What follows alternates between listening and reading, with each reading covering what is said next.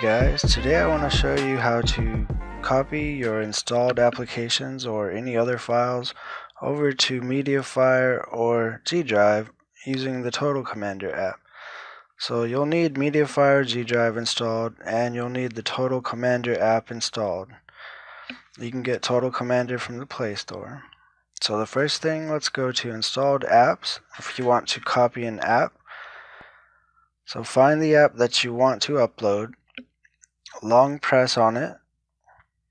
Today let's do a copy of FileLink. So we'll long press on that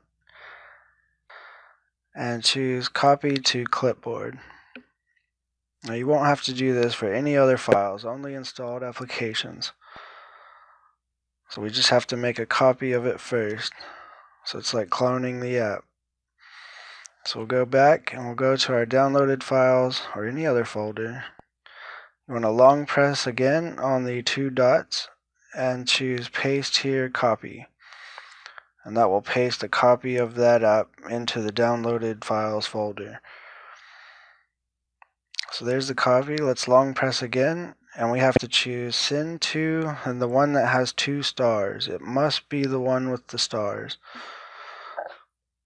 So now we can choose Mediafire or our Google Drive, depending on which one you have installed. So I'm going to select Google Drive, so I'll click Save to Drive, and then I'll click Save down here. And now it's uploading that file to my Google Drive account. So we'll give that just a moment. And I'll go into Drive and show you that it is in there.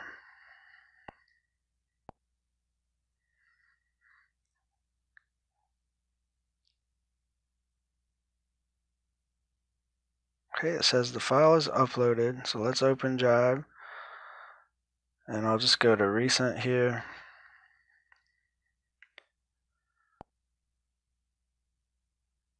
And there's our app right there. So that's how you can copy or clone apps from any Android device using Total Commander and then uploading it to your Mediafire or your G Drive. Now this is how a lot of us get apps to put in our file link stores for you guys. So let's go back now and let's do the same process with Mediafire. It's the same process. So we'll open Total Commander. The file's already in there since we already copied it. So we'll long press, select send to, the one with the stars again. And this time I'll choose Mediafire. So click on that and that will send that right to my Mediafire account. So I can open Mediafire or my Google Drive app on another Android device and then download that app and install it that way. That way I don't have to use file links or if I'm somewhere where I don't have access for whatever reason or you know, you could use this for any multiple reasons. So you can also do this with media files, like movies or TV shows, if you wanted to send it to another device. See, I'm using it in BlueStacks here, and BlueStacks, I can't figure out a way for it to allow me access to an external drive or a hard drive, so I don't know where those files are going. So I hope this helps you guys. Happy gaming and happy streaming.